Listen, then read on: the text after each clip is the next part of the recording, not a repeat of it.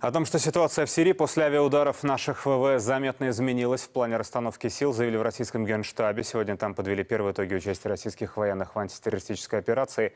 Почти 700 боевых вылетов за две с небольшим недели. Точными ударами уничтожены базы боевиков, их командные пункты, узлы связи, тренировочные лагеря, заводы по производству боеприпасов. По данным Генерального штаба, большинство группировок ИГИЛ деморализованы, дезертирство становится массовым. Евгений Лямин продолжит.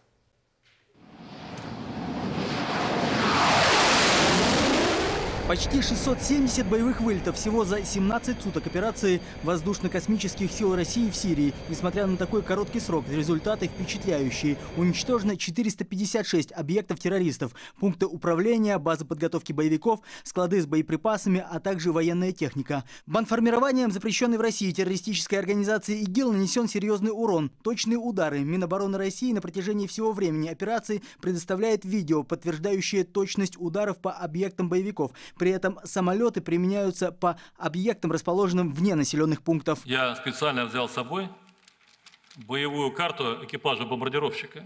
Как вы видите, на данном документе нанесены все объекты жизнедеятельности и гражданского населения. Это мечети, объекты культурного наследия, энергетики, водоснабжения и другие объекты. Поверьте, мы хорошо знаем, где у боевиков находятся и госпиталя. Но не в наших правилах советовать э, коллегам, по каким объектам надо наносить удары. Однако 11 октября в районе населенного пункта Тель-Алам, это 20 километров восточнее Алеппо, ударами авиации коалиции была уничтожена теплоэлектроподстанция и трансформаторная подстанция.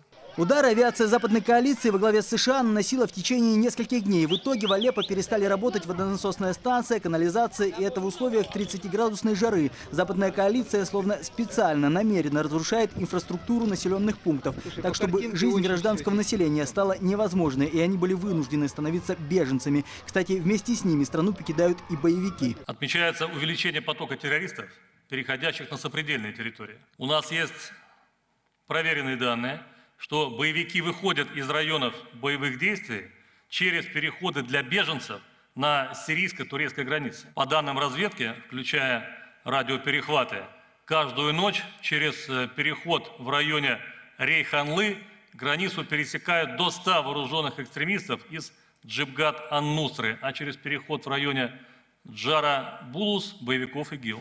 Как сегодня заявили в Минобороны Турции, их самолет сбил в турецком небе неопознанный беспилотник. На брифинге начальника главного оперативного управления российского генштаба попросили прокомментировать эту информацию. Совсем недавно в интернете появилась информация, что наши турецкие партнеры якобы э, сбили российский беспилотник. Мало того, этот беспилотник находился на турецкой территории. Я вам абсолютно ответственно заявляю, что все наши беспилотники находятся либо в районах выполнения задач, либо на авиабазе.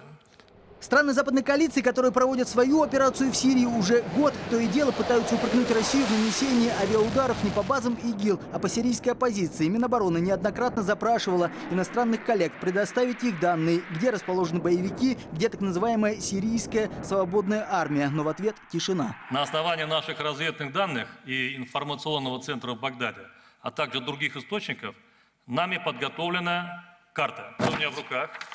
А, вы ее видите перед собой на экране. На ней нанесены те районы, которые контролируют сейчас группировка ИГИЛ, Джибгат Ан-Нусра, районы, которые удерживают правительственные войска, а также э, районы, которые, по нашим сведениям, контролирует сирийская свободная армия. Обратите внимание, где российская авиация, по каким объектам наносит удары.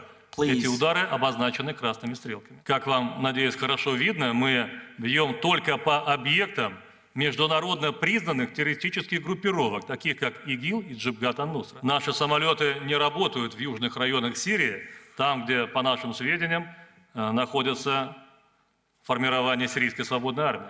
По поручению министра обороны России Сергея Шойгу эта карта будет направлена по военно-дипломатическим каналам. Это еще одно подтверждение. Россия проводит максимально прозрачную военную операцию в Сирии, открыта к диалогу и сотрудничеству. Правда, в ответ пока или молчание, или надуманные обвинения. Между тем, при поддержке российской авиации армия Сирийской Арабской Республики продолжает идти в наступление, зачищая от террористов все новые и новые населенные пункты. Евгений Лямин, Владимир Беляев, Сергей Романов, Первый канал.